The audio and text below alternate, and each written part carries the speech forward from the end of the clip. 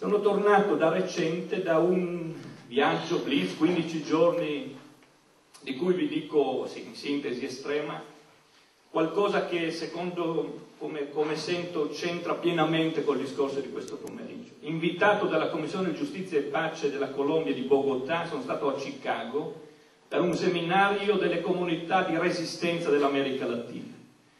E ho sentito dai racconti dentro di me ribadire una convinzione che da qualche anno sento presente, un intreccio sulla scena mondiale sempre più stretto, drammatico, fra capitalismo e militarismo. È un intreccio micidiale, in concreto.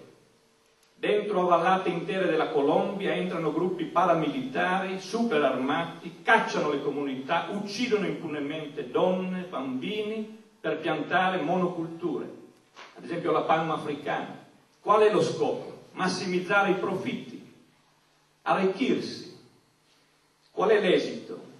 Si uccide, si ferisce e si fa sì che le persone vengano mandate via dalla loro terra. In Colombia attualmente ci sono 3 milioni e 800 mila persone desplazadas all'interno della Colombia, colombiani costretti a partire che vanno poi a ingrossare le periferie disumane delle grandi città, questo è quello no, che dicevi anche, questo modello di sviluppo cosiddetto provoca l'atomizzazione, la distruzione delle relazioni fra le persone e le comunità, distrugge il tessuto vitale di persone e di comunità.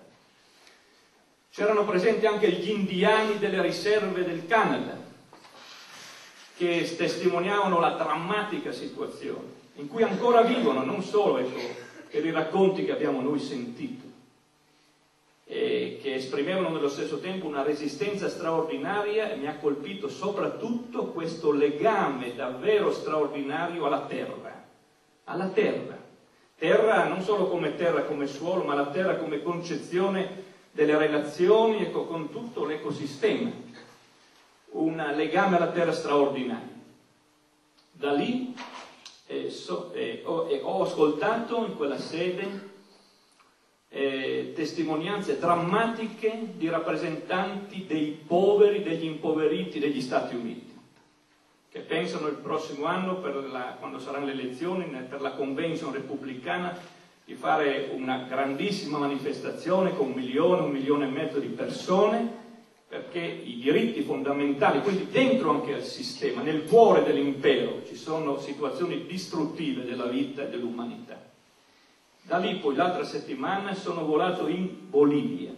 Una, una, 15 giorni fa ero sulle Ande boliviane a 4.000 metri e ho incontrato situazioni di una povertà incredibile, incredibile il vescovo di Cochabamba, che è mio conterraneo perché è nato a Pesaris, Don Tito Solari, un uomo davvero del Vangelo, mi ha detto, in lunghi colloqui che abbiamo avuto, anche in un'intervista che gli ho fatto, ti dico un paradosso Pierluigi, la Bolivia si trova in questa situazione di povertà, poi abbiamo parlato anche della novità di Evo Morales alla presidenza ecco, della Bolivia, eh, si trova, si trova in questa condizione di povertà paradossalmente perché è un paese ricco, perché è un paese ricco. E ci siamo un po' soffermati su questa situazione. Un, un segno che può far sorridere, può far sorridere, però è un sorriso ironico, quindi anche drammatico, diceva del controllo che c'è sulla Bolivia, no? faceva un confronto, dice, io so questi dati per certo, eh, in Messico all'ambasciata degli Stati Uniti lavorano 950 persone, ma il Messico credo abbia 130 milioni di abitanti, in Bolivia gli abitanti sono 9 milioni, all'ambasciata degli Stati Uniti in Bolivia ci sono 900 persone. Questo uguale, controllo del territorio, delle ricchezze, minerali, acqua, eccetera. Questa è la realtà del mondo. 900 impiegati nell'ambasciata degli Stati Uniti della Bolivia.